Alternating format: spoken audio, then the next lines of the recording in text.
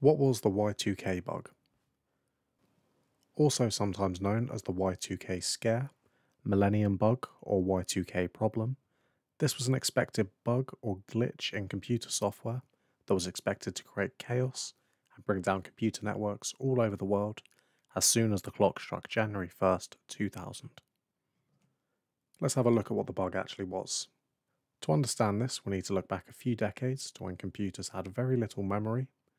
One of the ways early computer programs would save space was to have the date abbreviate four digit years as two digits. Software treated all dates as being in the 20th century, so 1986 would display as 86 for example. The issue was that when the clock hit January 1st, 2000, no one had any idea whether computers would read the two digit abbreviation as the year 2000 or 1900, as it would be abbreviated to 00. So, why is computers reading a date wrong such a big issue?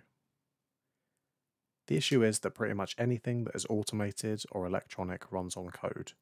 Things like planes, satellites, and power stations rely heavily on software and code.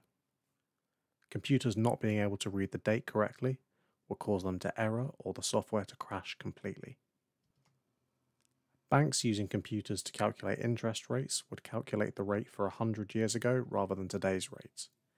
Power stations that relied on the date for scheduled automated checks, such as power input and radiation levels, would be in big trouble. If their computers read the date as 1900, no automated checks would be carried out by their computer systems as they were all scheduled for future dates, potentially causing failures and blackouts all over the world. Airlines and other transportation were under threat as booking and scheduling systems may go down if they're trying to read data from 1900 rather than 2000. Some people even predicted planes would fall from the sky due to software crashes causing any automatic processes to fail.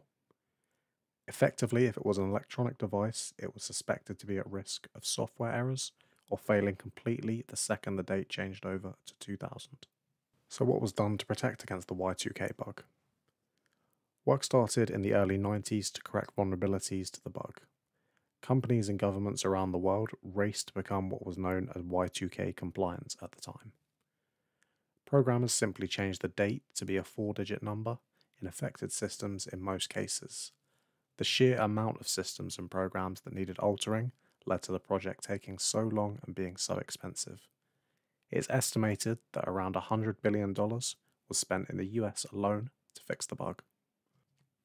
So, what actually happened when the clock hit January 1st, 2000? Well, in short, not much. There were a few reports of bus ticket machines failing to work and a couple of cases of alarms being raised at power plants in Japan. In New York, a man was charged $91,000 after a computer at a film rental shop calculated that the film he was returning was 100 years overdue, but this was quickly refunded. However, nothing like what had been predicted might happen did end up happening. In hindsight, a lot of people refer to the Y2K bug as a hoax or overreaction to a non issue, because so many countries that did very little to protect themselves had very few issues. But it's hard to say what the impact may have been if so much work hadn't gone into the Y2K project before January 1st in the world's most computer reliant countries. I have linked a couple of articles in the description below from the late 90s if you want to get a perspective on how concerned some people were at the time. Thanks for watching. Please consider liking and subscribing if you found this video useful.